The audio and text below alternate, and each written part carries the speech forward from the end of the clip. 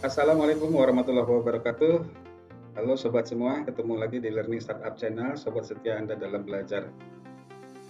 Kali ini kita akan bahas struktur fungsi alternator bagian kedua. Di bagian kedua ini kita akan bahas rectifier, salah satu komponen di alternator yang berfungsi sebagai penyearah.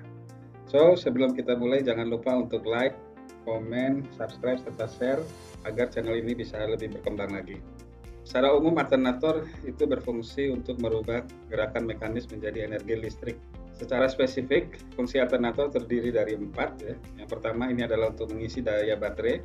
Yang kedua ini adalah sebagai sumber arus listrik utama pada saat alat berat tersebut uh, running atau beroperasi.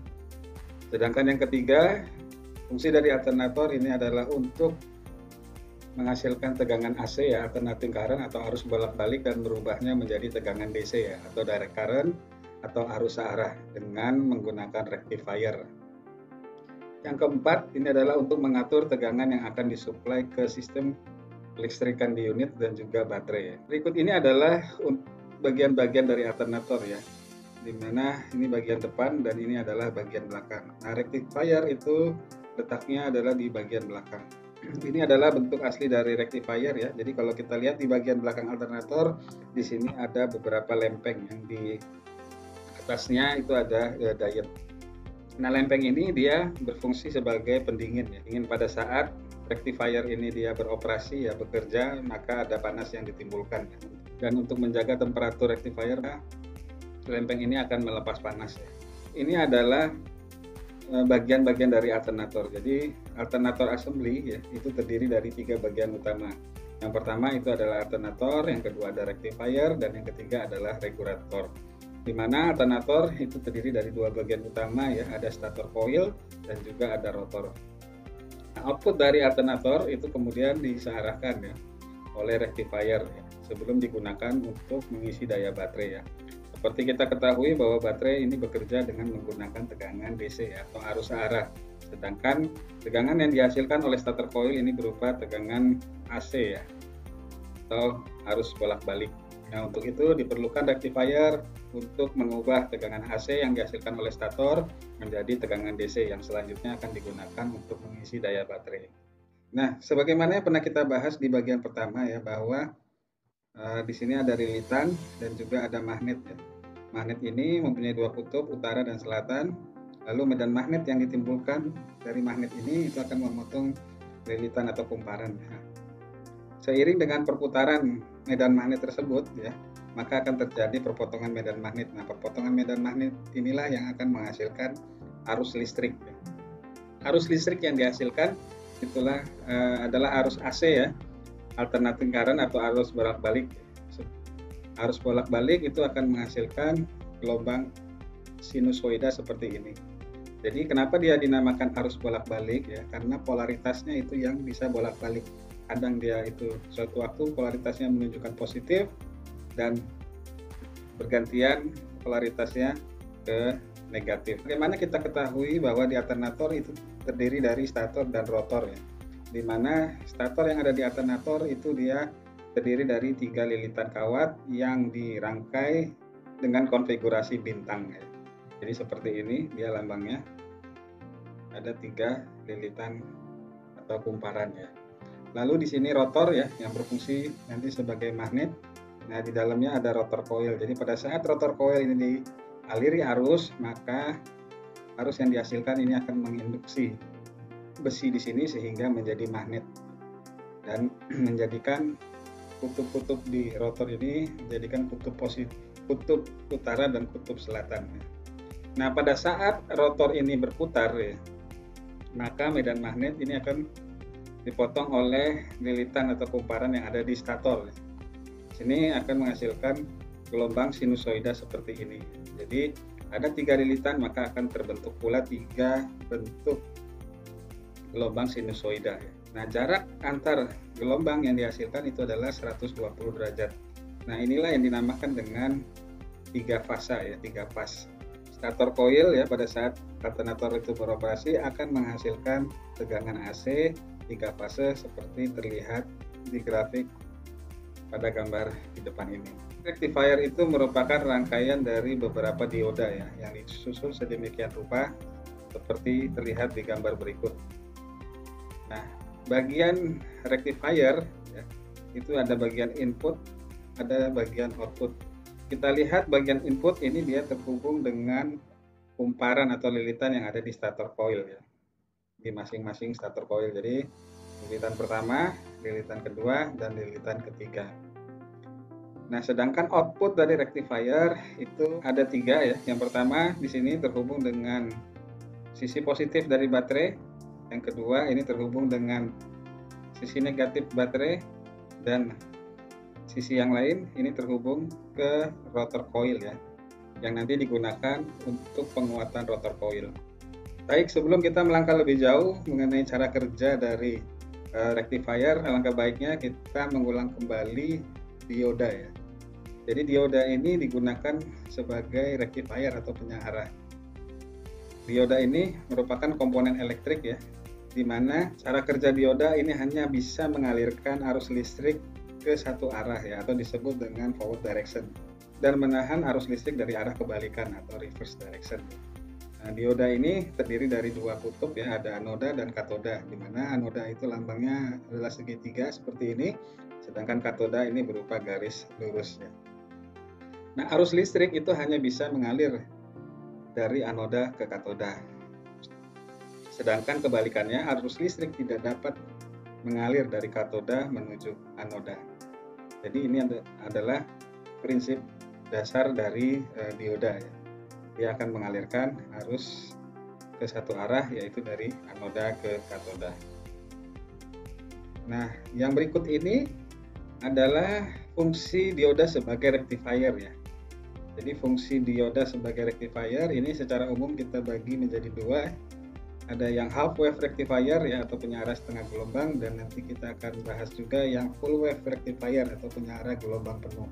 Ya, di sini ada tiga gambar ya. Di sebelah kiri kita lihat di sini ada sumber tegangan AC mana sumber tegangan tersebut ini terhubung dengan beban ya jadi kita ketahui bahwa tegangan AC itu akan menghasilkan gelombang sinusoida seperti ini jadi satu gelombang itu akan menghasilkan polaritas positif dan polaritas negatif ya dan ini akan bergantian terus menerus ya. lalu di bagian tengah di sini kita lihat ada dioda ya yang terpasang eh, di rangkaian seperti ini. Jadi di sini ada sumber arus AC ya terhubung dengan anoda di sini, lalu katoda di sini terhubung ke beban dan kembali lagi ke sumber tegangan AC tersebut. Nah, kita namai bagian atas ini adalah titik A dan bagian bawah titik B. Nah, kita ketahui bahwa arus AC itu adalah arus bolak-balik, jadi polaritasnya di titik A dan titik B ini dia bisa berubah-ubah positif maupun negatif. Nah, pada saat titik A ini polaritasnya menunjukkan positif, maka arus listrik dari dari sumber tegangan AC ini akan mengalir ke anoda ya. Lalu dari anoda ini dia akan disearahkan akan diteruskan ke katoda. Dari katoda ini akan menuju ke beban dan kembali lagi ke sumber tegangan AC. Eh, sedangkan gambar yang ketiga kita lihat ini adalah pada saat titik A ini polaritasnya menunjukkan negatif ya dan sebaliknya titik B ini dia menunjukkan polaritas positif ya pada saat kondisi seperti ini maka arus listrik mengalir dari sisi positif ya titik B ini menuju beban lalu ketemu dengan katoda ya nah karena prinsip dasar dioda dia tidak bisa mengalirkan arus listrik dari katoda ke anoda, ya, maka arus listrik ini akan terhenti di katoda. Dalam satu siklus tegangan AC itu akan menghasilkan satu gelombang sinusoida ya. Jadi positif dan negatif. Nah, jika ini dihubungkan dengan dioda, maka dalam satu siklus itu hanya menghasilkan setengah gelombang ya. Setengah gelombang seperti ini. Nah, sedangkan pada saat kebalikannya ya, pada saat kebalikannya ini dia tidak bisa menghasilkan uh, tegangan ya. Nah inilah sebagai prinsip dasar dari half wave rectifier ya. Jadi hanya setengah gelombang saja yang bisa diteruskan. Nah setengah gelombang ini akan menghasilkan tegangan positif. Jadi kalau kita lihat ya satu siklus gelombang AC itu akan menghasilkan setengah gelombang akan menghasilkan setengah gelombang seperti ini. Jadi kalau dua siklus ya atau dua gelombang itu akan menghasilkan positif lalu nol di sini lalu tegangannya positif lagi. Jadi di half wave rectifier ini kalau kita lihat ada kekosongan ya, ada kekosongan uh, power atau kekosongan tegangan di sini. Nah, berikut ini adalah dioda bridge ya atau jembatan dioda. Jadi jembatan dioda ini umumnya digunakan sebagai penyearah gelombang penuh atau full wave rectifier. Jadi di jembatan dioda ini merupakan susunan empat ya, empat atau lebih dioda yang disusun dengan rangkaian seperti ini. Dioda bridge ya, itu terhubung dengan uh, input AC ya, jadi sumber tegangan AC, sumber tegangan arus bolak-balik, dan di sini outputnya ini akan menghasilkan tegangan DC ya. Nah kita lihat cara kerjanya ya seperti ini. Jadi pada saat polaritas titik A ini positif ya, positif makanya arus listrik akan mengalir menuju D1 ya. selanjutnya disearahkan dan keluar ke output sini. Lalu kembali menuju D4 ya dan terhubung ke titik B di sumber tegangan AC tersebut. Jadi pada saat polaritasnya itu positif ya, ini akan menghasilkan output tegangan yang positif pula. Lalu pada saat polaritas titik A ini berubah menjadi negatif dan titik B ini menjadi positif, maka arus listrik itu akan mengalir dari titik B ya menuju ke D2 kemudian disearahkan dan keluar ke output ya. Ini berupa tegangan DC masuk kembali ke D3 ya. Melalui D3 dan kembali ke sumber tegangan AC di titik A. Nah jadi pada saat gelombang AC ini masuk polaritasnya itu e, negatif ya maka outputnya itu tetap akan menghasilkan tegangan ya outputnya tetap disearahkan menghasilkan tegangan positif ya. Jadi kalau kita lihat secara utuh ya satu gelombang AC seperti ini itu akan menghasilkan gelombang bentuk gelombang seperti ini. Nah, jadi inilah yang disebut dengan full wave rectifier atau penyearah gelombang penuh ya. Jadi pada saat dia positif ini akan menghasilkan output positif ya. Pada saat polaritasnya berubah menjadi negatif di sini tetap akan menghasilkan tegangan seperti ini. Jadi beda dengan yang half wave rectifier ya, yang full wave rectifier ini kita lihat tidak ada kekosongan uh, tegangan ya. atau tidak ada kekosongan power. Nah ini jika uh, dua siklus ya menghasilkan dua gelombang ya, maka pada saat ini polaritasnya positif maka akan menghasilkan gelombang untuk gelombang yang positif. Pada saat polaritasnya berubah menjadi negatif, maka outputnya di sini akan menghasilkan tetap menghasilkan yang positif. Ya. Outputnya berubah kembali menjadi positif di input AC-nya, maka outputnya ini tetap menghasilkan uh, gelombang positif. Ya. Dan seterusnya pada saat ini negatif, di sini akan menghasilkan output positif. Jadi ini prinsip kerja dari full wave rectifier ya Eh, penyara gelombang penuh dengan menggunakan dioda bridge ya atau jembatan dioda. Lalu bagaimana cara kerja di rangkaian electric rectifier yang ada di alternator? Jadi tadi sudah kita bahas bahwa rectifier itu merupakan susunan ya atau rangkaian dari dioda. Nah, ada yang 6 dioda ya. Yang kita bahas di sini adalah 9 dioda. Cuman secara fungsi utama itu terdiri dari 6 dioda ya. Yang terhubung ke masing-masing kumparan di starter coil dan juga outputnya terhubung ke positif dan negatif baterai. Nah cara kerjanya adalah seperti ini ya. Jadi di starter coil itu ada tiga lilitan ya. Ada L1, L2 dan L3 di mana pada saat rotor berputar ya maka itu akan mempengaruhi polaritas tegangan yang dihasilkan oleh stator coil ya.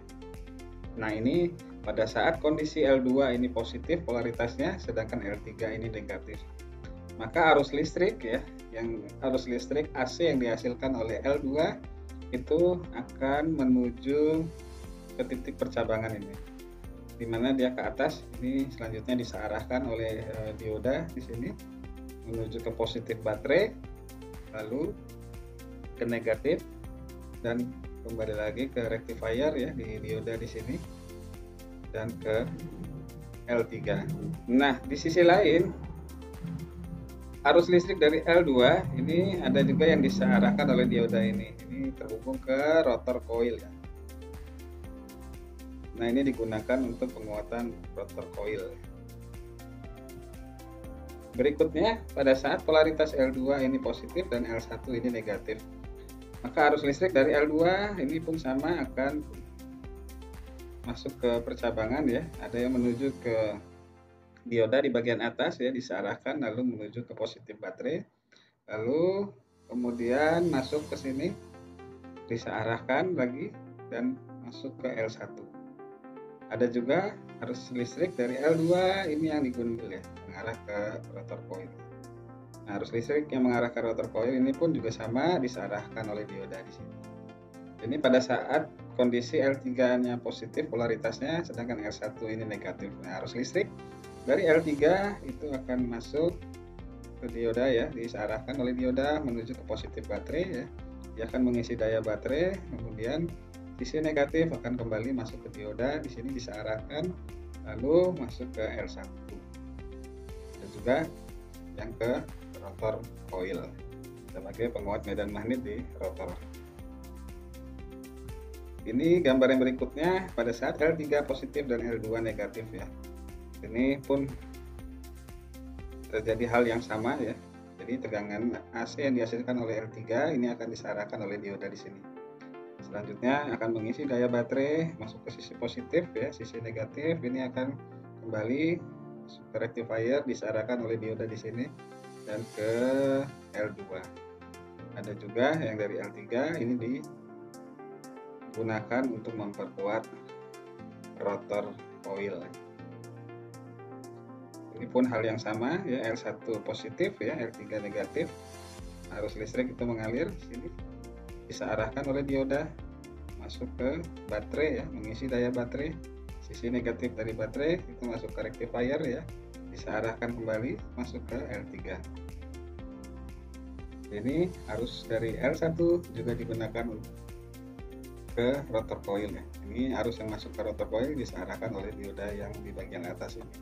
Ini berikut ini adalah kesimpulan dari rectifier ya. Jadi kita ketahui inputan rectifier itu terhubung ke lilitan yang ada di starter coil. Di mana starter coil itu mempunyai tiga lilitan ya L1, L2 dan L3. Nah, pada saat alternator itu bekerja itu masing-masing lilitan akan menghasilkan gelombang sinusoida, sinusoida seperti ini ya. Nah, jarak antar gelombang ya itu tadi adalah 120 derajat ya uh, dari masing-masing lilitan ya. Dan polaritasnya berubah ya kadang positif dan dia negatif. Nah, dari output atau tegangan yang dihasilkan oleh starter coil kemudian disearahkan oleh dioda mana tiga dioda ini terhubung dengan positif ya baterai. Dan tiga dioda ini terhubung dengan negatif baterai. Jadi ini yang digunakan sebagai penyearah dari AC menjadi DC ya dan tiga dioda lagi ini dia akan terhubung dengan rotor coil yang nanti digunakan sebagai penguat kemagnetan di rotor ya.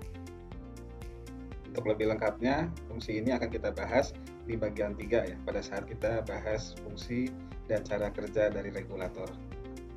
Nah, output dari rectifier ya, yang terhubung ke baterai itu akan menghasilkan gelombang seperti ini. Jadi gelombangnya positif ya, full wave rectifier ya, penyarah gelombang penuh ya. Seperti ini. Jadi nah, kalau kita lihat jadi seperti ini. Jadi ini inputannya tadi harus bolak-balik ya, masing-masing lilitan Nah ini bentuk gelombang yang dihasilkan oleh rectifier ya. Jadi gelombang positif seperti ini. Nah inilah yang terus yang dihasilkan atau tegangan yang dihasilkan adalah sudah merupakan tegangan searah ya atau tegangannya polaritasnya tetap. Beda dengan AC tadi gelombangnya atau polaritasnya itu bolak-balik ya, kadang positif, kadang negatif. Sedangkan yang tegangan yang dihasilkan atau arus listrik yang dihasilkan oleh rectifier itu dia sudah berupa arus DC ya, arus searah ya, di mana polaritasnya itu tetap tidak bolak-balik. Nah demikian sharing dari kami Semoga bermanfaat. Lebih kurang kami mohon maaf. Sampai ketemu di Learning Startup Channel berikutnya. Assalamualaikum warahmatullahi wabarakatuh.